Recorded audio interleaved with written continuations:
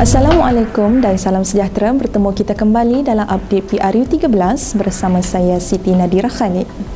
Pelbagai pertubuhan bukan kerajaan dan badan-badan Islam membantah politik kotor yang cuba membunuh lawan dengan cara terkutuk.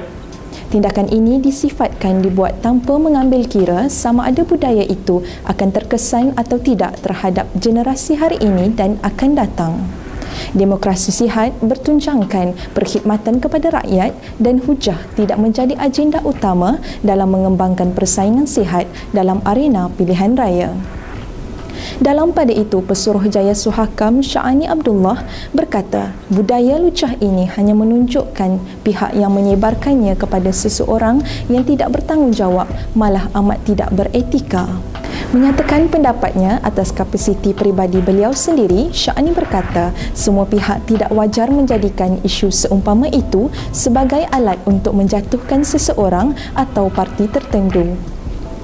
Nada yang sama turut disuarakan Presiden Angkatan Belia Islam Malaysia ABIM, Amidi Abdul Manan yang mahu media lebih bertanggungjawab mengemukakan bukti bagi setiap perkara yang disebarkan. Menurut laporan Malaysia kini, Ketua Kongres Penyokong PAS PSC Hu Pang Chiu hari ini diumumkan sebagai calon PAS bagi kerusi air hitam dan merupakan orang bukan Islam yang pertama pernah calon bertanding di bawah tiket parti Islam itu. Pengumuman tersebut dibuat oleh Mesyidul Ampas Tuan Guru Datuk Nin Abdul Aziz Nikmat di Johor Bahru. Hu yang dijangka berdepan dengan Ketua Pemuda MCA Datuk Wee Ka Siong adalah antara 8 calon PAS yang akan bertanding kerusi parlimen di Johor.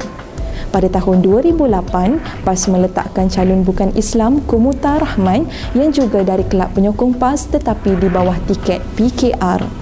PAS telah meminda perlembagaan parti itu untuk menaik tarafkan kelab penyokong kepada sayap parti sekaligus membolehkan ahli bukan Islam bertanding secara langsung di bawah tiket PAS. Sekian sahaja dari update PRU 13 dan akan kami bawakan lagi info-info lanjut. Teruskan bersama kami, kami melaporkan daripada perspektif yang sebenar.